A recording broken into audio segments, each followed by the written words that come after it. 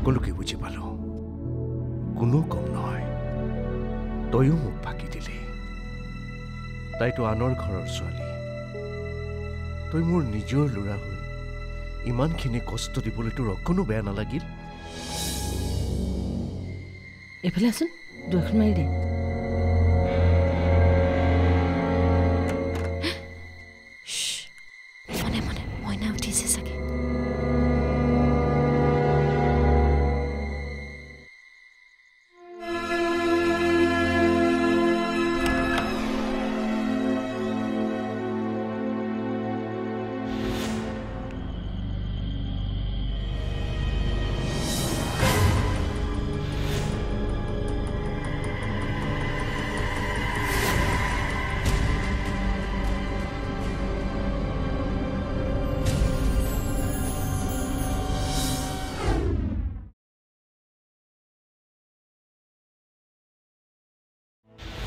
বৌ নাইকিয়া হোৱাৰ পৰা মই আপোনাক লক্ষ্য কৰি আছোঁ। আপুনি যেন কিছু বেলেগ কৈ আছে।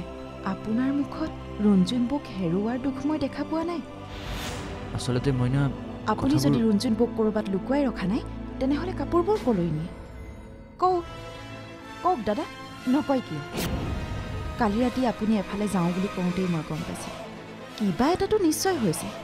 কালি ৰাতি আপোনাক ড্ৰয়িং ৰুমত পোৱা কথাটো মই কাৰো আগত কোৱা নাই। মইনা মনে মনে ক মই তোৰ আগত সকলোবোৰ কথা ভালকৈ খুলি কৈ আছোঁ। কাৰণ এইখন ঘৰত তোতকৈ বিশ্বাসী মানুহ আৰু কোনো নাই। দাদা? অঁ। ৰঞ্জুন য'তেই আছে ভালে আছে। বৌ ভালে আছে? মই এতিয়া ৰঞ্জুনৰ ওচৰলৈকে গৈ আছোঁ।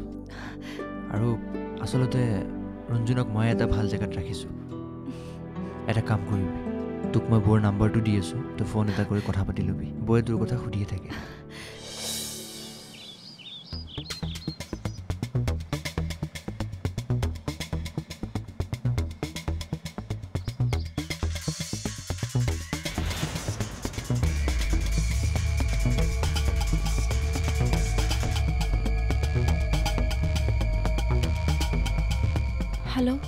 হেল্ল' বৌ মই মইনাই কৈছোঁ। মইনা তুমি? দাদাই আপোনাৰ নম্বৰটো দিলে। আপুনি ভালে আছেনে? আপুনি এইবোৰ কি কৰিলে বৌ? আপুনি নাথাকোঁতে মই কিমান ভয় খাইছিলোঁ জানেনে? আপুনি অন্ততঃ মোক কথাবোৰ কৈ যাব পাৰিলেহেঁতেন। নাই নকলো দিয়া। ক'লে যে কথাবোৰ ভবামতে নহ'ব। মইনা শুনা মোৰ কথাটো। কওক। তুমি মোৰ লগত যোগাযোগত থাকিবা। ঘৰখনত কি হৈ আছে কথাবোৰ মোক জনাই থাকিবা। আমি সকলোৱে মিলি ঘৰখনক বচাব লাগিব মইনা। এইবোৰ কেৱল আমাৰ বেয়া দিন চলি আছে। আমাৰ জীৱনলৈও ভাল দিন আহিব। নাকান্দিবা মইনা। কান্দিলে কোনোবাই শুনিলে বেয়া হ'ব। আমি মিলি ঘৰখনক বচাব লাগিব মইনা। ঠিক আছে। আপুনি ভালে থাকিব। ঠিক আছে দিয়া।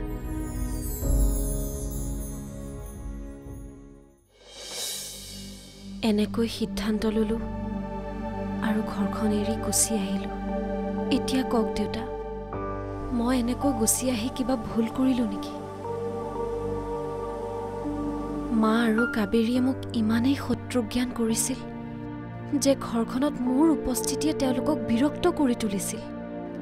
আৰু এইবোৰ কাৰ কাৰণে হৈছে আমি জানিব লাগিব দেউতা। অঁ দেউতা মা আৰু কাবেৰীকো আমি সঠিক পথলৈ ঘূৰাই নিব লাগিব।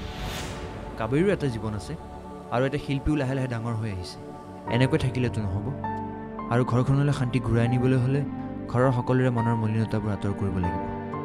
এতিয়া অলপ অশান্তি হৈছে সঁচা। কিন্তু লাহে লাহে ঘৰখনলৈ শান্তি ঘূৰি আহিব। মোক সাহস দিয়ক দেউতা। যি প্ৰতিশ্ৰুতি লৈ মই ঘৰখন এৰি গুচি আহিছোঁ। আৰু তাৰ ফলত আমি গোটেই ঘৰখনে ইমান কষ্ট খাইছোঁ। সেই কষ্টখিনি যাতে অথলে নাযায়।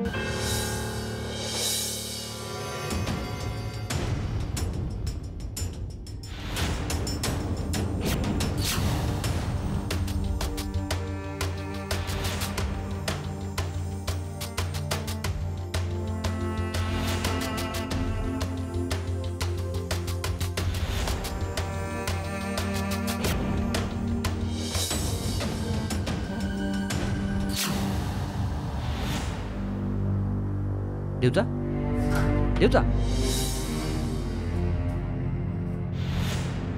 দেউতা যে এনেকৈ গুচি গ'ল। কথাবোৰ বুজি পালেনে নাইবা? ঘৰলৈ গৈ কাৰো আগত কৈ নিদিয়েগৈতো চিন্তা নকৰিব। দেউতাই এইবাৰ আমাক বুজিও পাব আৰু এইখন যুদ্ধত আমাক সহায়ো কৰিব।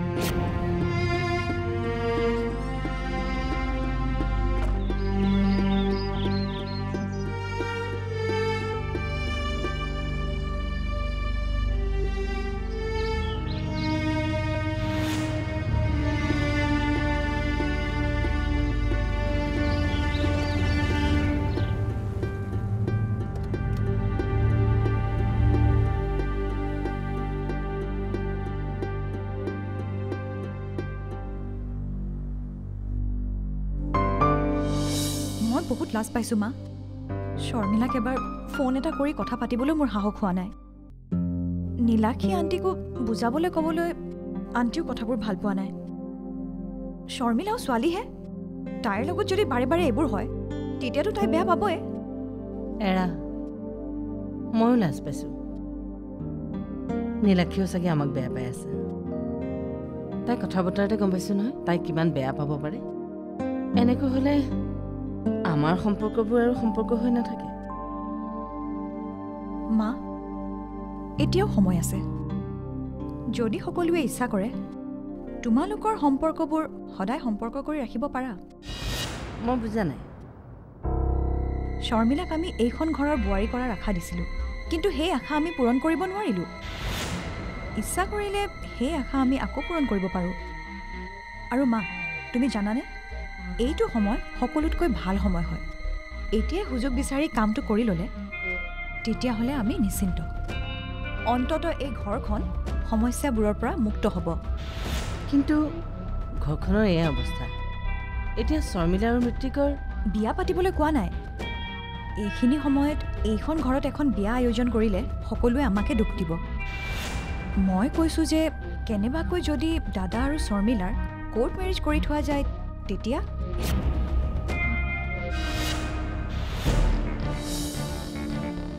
কাবেৰী? ভাবিছোঁ আমা দাদা অন্ততঃ এটা সম্বন্ধত বান্ধ খাই যাব আৰু শৰ্মিলাও আমাৰ লগত থাকিব। নীলাক্ষী আণ্টিৰো আমাৰ প্ৰতি বিশ্বাস আহিব। তই কথাটো ঠিকেই কৈছ।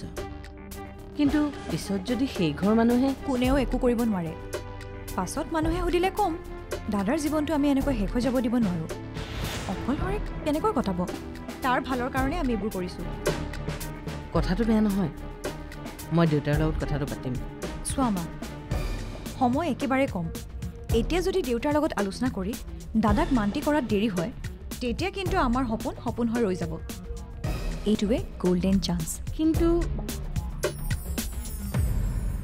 কিহে মিছেছ চৌধুৰী বৰ ইম্পৰ্টেণ্ট মিটিং চলি আছে যেন পাওঁ। আপুনি অসমত অহাৰ কাৰণে আচৰিত হ'ল নেকি?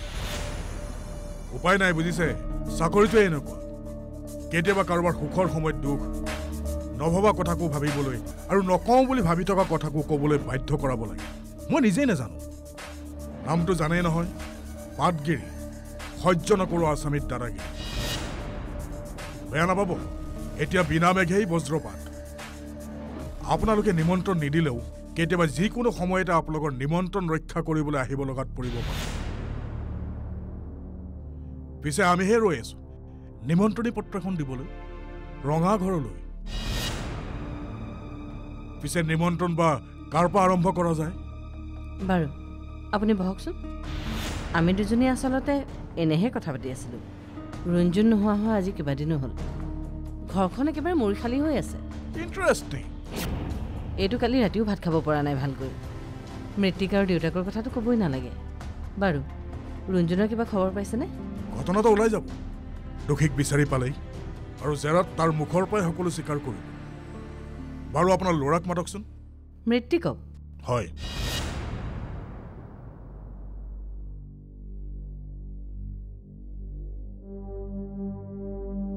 কি ভাবিছে?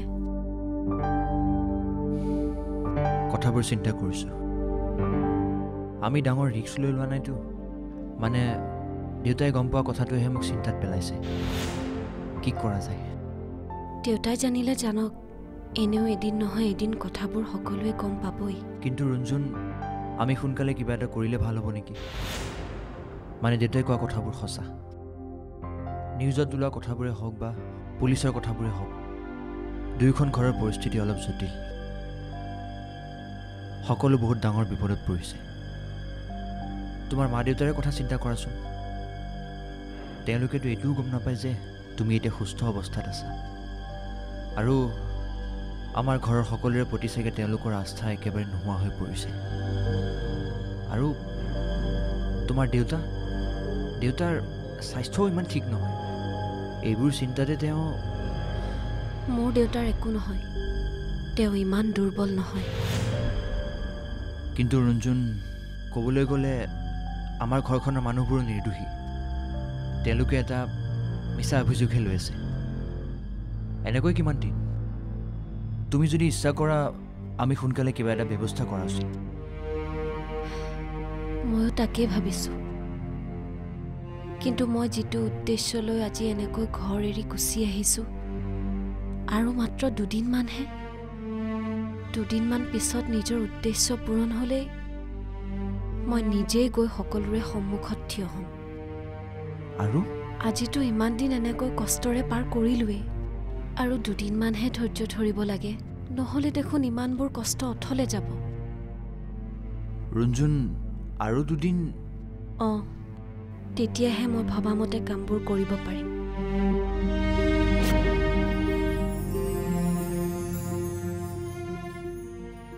মই আকৌ ভাবিছিলোঁ মৃত্তিক চৌধুৰীয়ে চাগে মনৰ দুখত কাম কাজ এৰি ঘৰতে থাকিব। সেইবাবে ঘৰলৈ আহিছিলোঁ। পিছে অনুমান কৰিছোঁ যে পত্নীৰ কথাবোৰে তেওঁৰ মনত ইমানকৈ আঘাত দিয়া নাই নেকি? হ'ব পাৰে। সকলো মানুহতো একে নহয়। সদায়নো ঘৰৰ ভিতৰত দাদাই কি কৰিব? সেইকাৰণে অফিচলৈ গুচি গ'ল। ঠিকেই কৈছে। তাতে এই সময়ত এই বান্ধৱীগৰাকীৰ লগত থাকিলে এইবোৰ চিন্তাৰ পৰা আঁতৰিও থাকিব পাৰি। আপুনি কাৰ কথা কৈছে?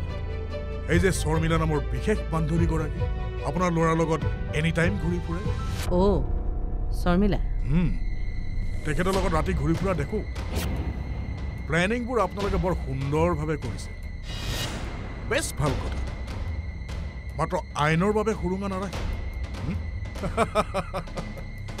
নহ'লে গিলাচত পানী ঢালি থাকিব আৰু সুৰুঙাৰে ওলাই গৈ থাকিব। মই পাতগিৰি সহ্য নকৰোঁ আছামীত দাদাগিৰি। এই আইন বোলা বস্তুটো বৰ বেয়া। বিচাৰ নিচিনাকে এটা বস্তুতেই লাগি থাকে। কোনে ক'ত কি কৰে আমি মানুহ দেখিলেই চিনি পাওঁ। আপুনি হয়তো মৃত্তিক আৰু শৰ্মিলাৰ ৰিলেশ্যনটো নাজানে। জানিনে? কওক। এই সম্পৰ্কবোৰ এডাল সূতাৰ দৰে। মিহি কোমল দীঘলীয়া। ইটোৰ পৰা সিটোলৈ ৰঞ্জুন সোনকালে ঘূৰি আহক। সেয়াই আমাৰ কামনা। আৰু যদি নাহে তেতিয়াহ'লে ভৱিষ্যতে শৰ্মিলাক আমাৰ ঘৰৰ বোৱাৰী কৰিম। বাহ কথাবোৰ বেছ কনফিডেণ্টলি ক'লে। পুলিচ মানুহ যে এনেকৈ কথা ক'লে সন্দেহেই হয়। বৰ সন্দেহবাদী আমি। ৰঞ্জুন তুমি যেনেকৈ বিচাৰিছা যি বিচাৰিছা সেইমতেই হ'ব। তোমাৰ সংকল্পৰ অৰ্থ এইটো নহয় জানো যে আমাৰ দুয়োখন ঘৰে ভাগি থকা মনবোৰ মসৃণ হ'ব লাগে।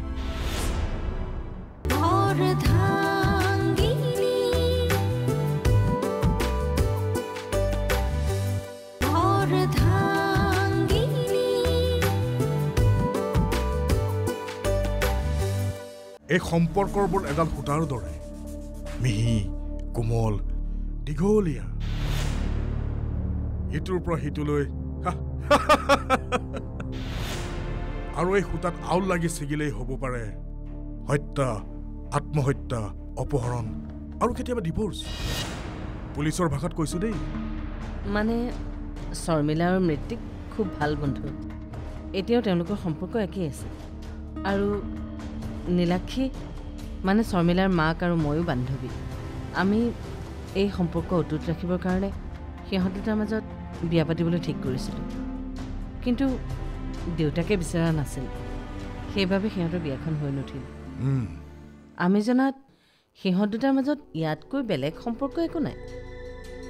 কিন্তু আমি ভাবিছোঁ ৰুণজুন বৌ যদি কেতিয়াও ঘৰলৈ উভতি নাহে তেতিয়া? নহয় মানে কেইবাদিনো ধৰি দেখোন নায়েই। আপোনাৰ যি দেখিছোঁ আত্মবিশ্বাস একেবাৰেই নাই। আত্মবিশ্বাস আছে। মাত্ৰ ক'ব খুজিছোঁ যদি ৰঞ্জন বৌ উভতি নাহে তেতিয়া দাদাৰ কি হ'ব? এনেকৈ থাকিব। এতিয়ালৈকে দেখোন একো মুহূৰ্তই পোৱা নাই। আমি আমাৰ ঘৰখনে এটা কথা ভাবিছোঁ। ৰঞ্জুন সোনকালে ঘূৰি আহক। সেয়াই আমাৰ কামনা। আৰু যদি নাহে তেতিয়াহ'লে ভৱিষ্যতে শৰ্মিলাক আমাৰ ঘৰৰ বোৱাৰী কৰিম। বাহ কথাবোৰ বেছ কনফিডেণ্টলি ক'লে। পুলিচ মানুহ যে এনেকৈ কথা ক'লে সন্দেহেই হয়। বৰ সন্দেহবাদী আমি। চাওক আপোনালোকৰ ওপৰত থানাত এতিয়া কেছ চলি আছে এই কেছ চলি থকা সময়ছোৱাত আইনৰ অনুমতি নোলোৱাকৈ কোনো কামেই নকৰিব এই যেনে ধৰক আমাৰ উইদাউট ইনফৰমেশ্যনত দূৰ ভ্ৰমণলৈ নাযাব। প্ৰয়োজনত বিচাৰিলে যাতে আমি লগ পাওঁ আৰু এই যে আপোনালোকে ক'লে বিয়াৰ কথাটো মৃত্যুক আৰু শৰ্মিলাৰ বিয়া হ'ব? কিন্তু এটা নিয়ম আছে? ৰঞ্জন বৰা চৌধুৰী আৰু মৃত্তিক চৌধুৰীৰ মাজত যিহেতু এটা ৰিলেশ্যন আছে শৰ্মিলাৰ লগত বিয়া হোৱাৰ আগতে তেওঁলোকৰ ডিভৰ্চ হ'ব লাগিব। আৰু আমি যদি ৰঞ্জনক বিচাৰি নাপাওঁ অন্ততঃ সাত বছৰৰ পিছতহে আমি তেওঁক আইনমতে মৃত বুলি ঘোষণা কৰিম। ইমান খৰধৰ কিয়? সাত বছৰ ৰৈ দিয়ক। বিয়াখন হ'বই। আৰু তাৰ আগতেই যদি আপোনালোকে ব্যৱস্থা কৰে আইনে আপোনালোকক দোষী সাব্যস্ত কৰিব।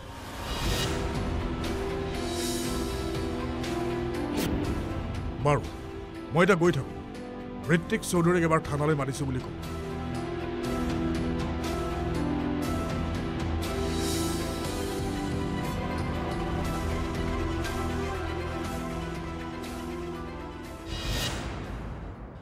ৰঞ্জুন তুমি কথাবোৰ কেনেকৈ ভাবিছা মই নাজানো। কিন্তু মোৰ মতে তোমাৰ মা দেউতাক সকলোবোৰ কথা জনাই দিয়া উচিত। কাৰণ তেওঁলোকে যদি গম পায় তুমি ভালে আছা অন্ততঃ অলপ শান্তি পাব। নালাগে। মা দেউতাক এতিয়াই জনাব নালাগে নেকি? ৰঞ্জুন তুমি বুজিবলৈ যত্ন কৰা। মা দেউতাৰ মোৰ প্ৰতি আস্থা একেবাৰে নাই। কাৰণ কথাবোৰ অলৰেডি বহুত ডাঙৰ হৈ গৈছে। গতিকে পৰিস্থিতি বেয়া হোৱাৰ আগতে কথাবোৰ জনাই দিয়া উচিত।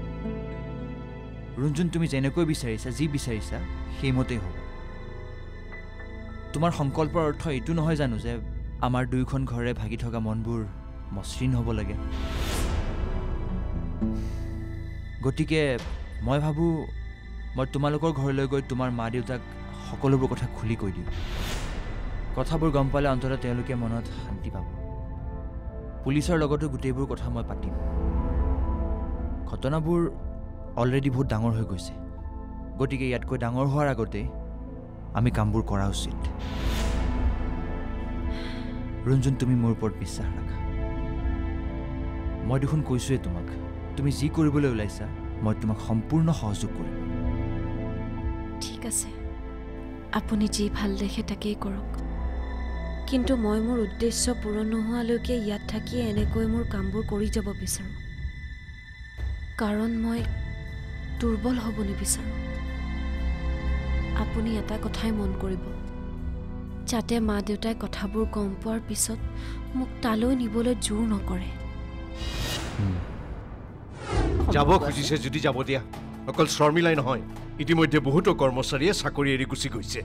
কাকো বাধা দিয়াৰ দৰকাৰ নাই। তেওঁলোক নহ'লেও বিজনেছ চলি থাকিব। কিন্তু আপুনি যদি কয় মই কিয় শৰ্মিলাক ৰিকুৱেষ্ট কৰিম?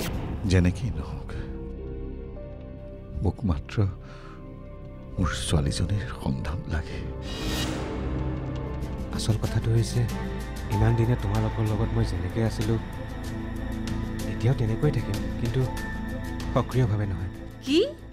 মানে মামী মই তোমালোকৰ বিজনেছৰ এজন শুভাকাংক্ষী হিচাপে সদায় থাকিম কিন্তু কৰ্মচাৰী হিচাপে থাকিব নোৱাৰিম।